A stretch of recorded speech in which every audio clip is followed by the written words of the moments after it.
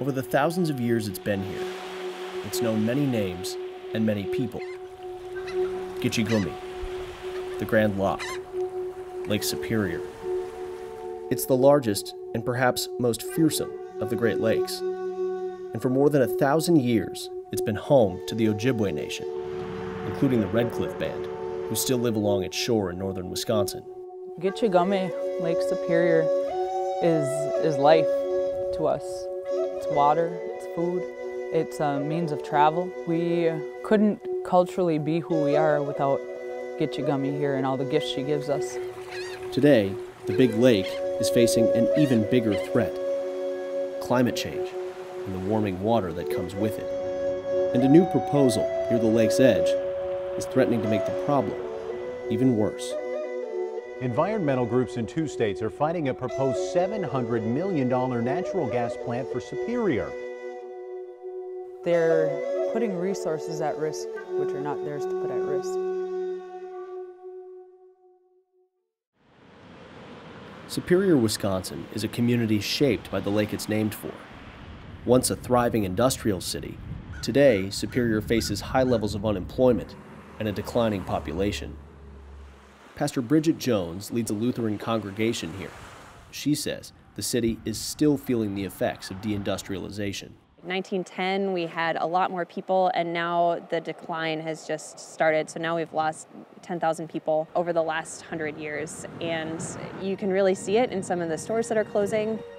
So 2 years ago when a pair of utility companies from Minnesota and Wisconsin announced plans to build a massive fossil fuel plant in Superior, many saw it as much needed economic development.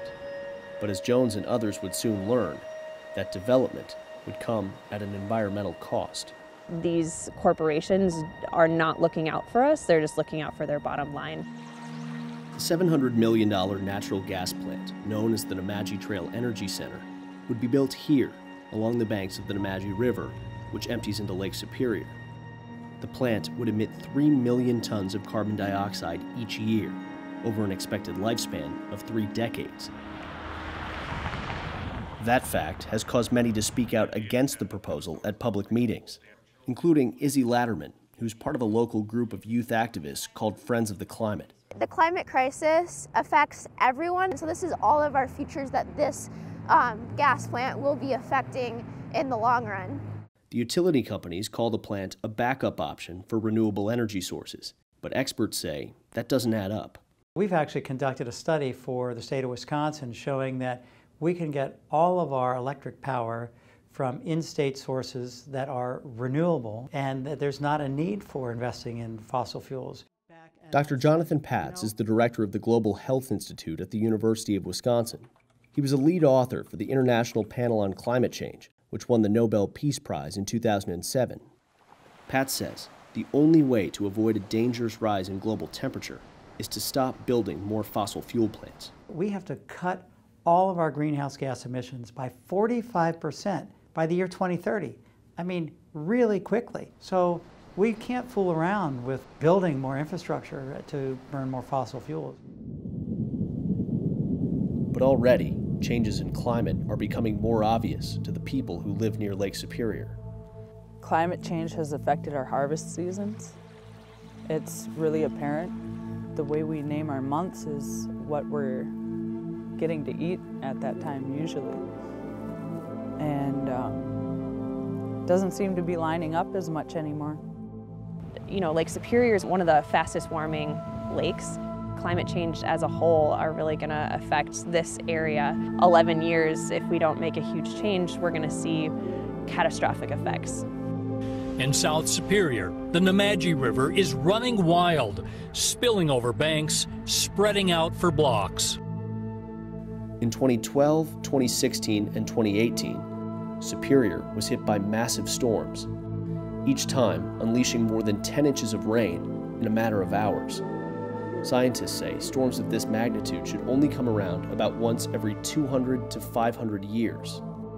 Northern Wisconsin has seen three of them in the last decade. The record flooding and the erosion that comes with it could be a major problem for the power plant, since the site where it's scheduled to be built lies on a steep slope down to the river. And in order to build the plant, the utility companies would have to destroy about 70 acres of wetlands, what scientists call one of nature's most powerful tools to mitigate the effects of climate change.